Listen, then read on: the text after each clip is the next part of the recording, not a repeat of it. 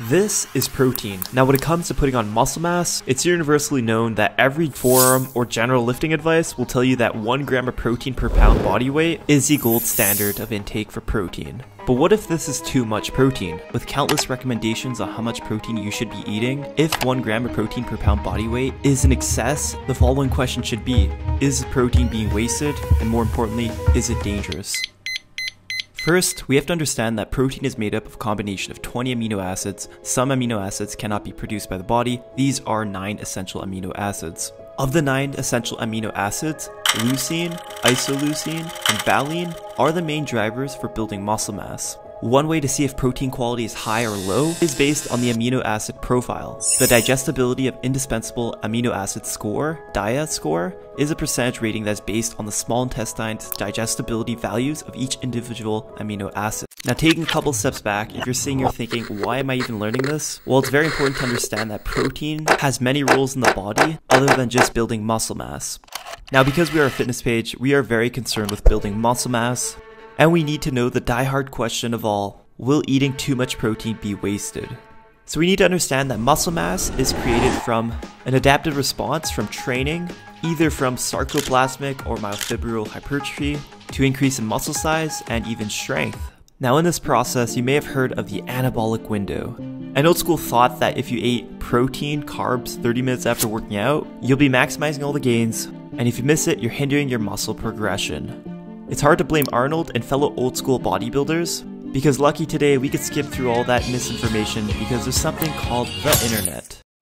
Readdressing the anabolic window, exercise is said to elevate MPS up to 24 hours or longer, and that realistically when you eat protein, MPS increases for about 3 to 6 hours. Per meal, protein is best at 40 grams of protein in terms of the MPS response, and anything after 40 grams of protein does not show much difference.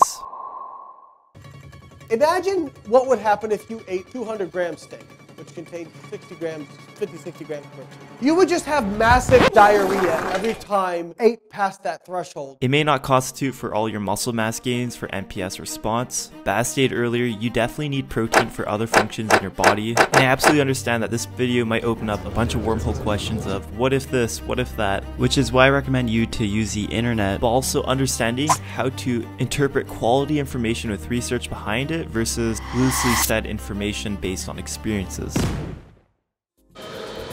Okay, so now let's interview fellow gym mates and see what their actual protein intakes are and what they believe is the best amount of protein per meal and uh, what type of training they go for inside the gym. Today I'm with Andrew. Jess. Rachel. How much protein should you have per day? 0.8 grams per pound of body weight is like the magic number.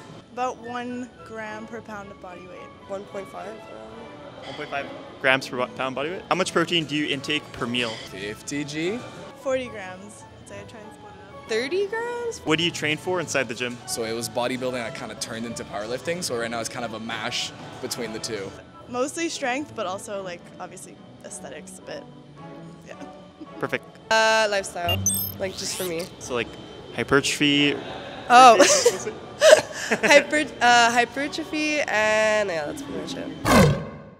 Who is the most accurate? A. Andrew, B. Rachel, or C. Jess? C. Jess. Protein intake definitely matters when it comes to your type of training. Commonly known that 0.82 grams per pound body weight of protein intake isn't a horrible protein intake, but as a lifter who cares about their strength, there's been some research studies showing that higher end protein intake may be beneficial for those who are interested in strength training. Now say you're not into powerlifting, not into strength training, protein intakes of 1.6 grams per kg body weight of fat-free mass is totally acceptable for muscle progression while training weights.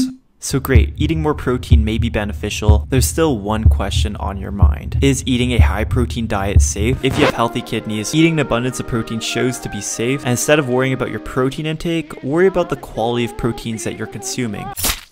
whole thing has 110 grams of protein. There's also these core powers, but this is 42 grams of protein. In Alex's defense, he did not preface his video by saying it was healthy. Personally for myself, I will not consume these foods willingly because I know the risk. Make smart choices with what you're eating. I stick to chicken breast, tilapia, trout, along with Greek yogurt and some dairy products for some protein. While it's definitely not a high risk diet, there's definitely still some risk, but these are costs I'm willing to accept if God forbid anything happens.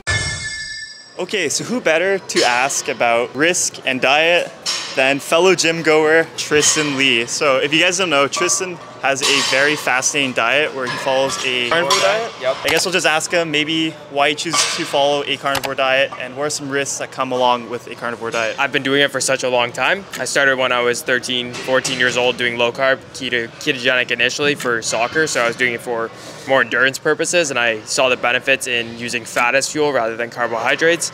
And then I just carried that through into my weightlifting, fitness, bodybuilding, obviously with social media. Staying lean is, is ideal, so it's allowed me to do so. And I've just found that it's something that allows me to have mental clarity throughout my day. Whatever diet that you're doing, make sure you're doing your research into it. One major thing with the carnivore diet is that a lot of people will undereat when they start because protein's so satiating. Some people have issues with having too many organ meats. If you have too much organ meats, you can have hypervitaminosis. And um, when you're on a carnivore diet, your need, your requirements for those vitamins actually goes down so you don't require quite as much. Okay, last question. How much protein do you eat per day, if you to estimate?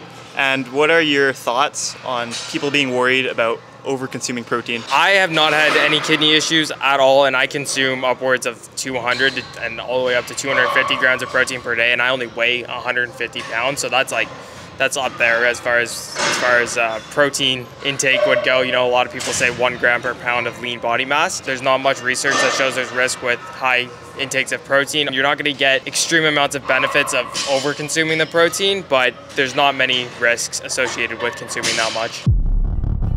So not everyone has to have the same protein intake, assuming they're reaching their minimum intake of 1.6 grams per kg of lean body mass. Limited studies show that more protein might be beneficial for strength training. As Tristyn stated, if you don't feel better with a high protein diet, listen to your body and go with what feels best. That's pretty much the video. Special thanks to Tristyn Lee for being a part of my video. Like, subscribe, comment below, and stay tuned for Tristyn's channel as a banger collab is coming very soon.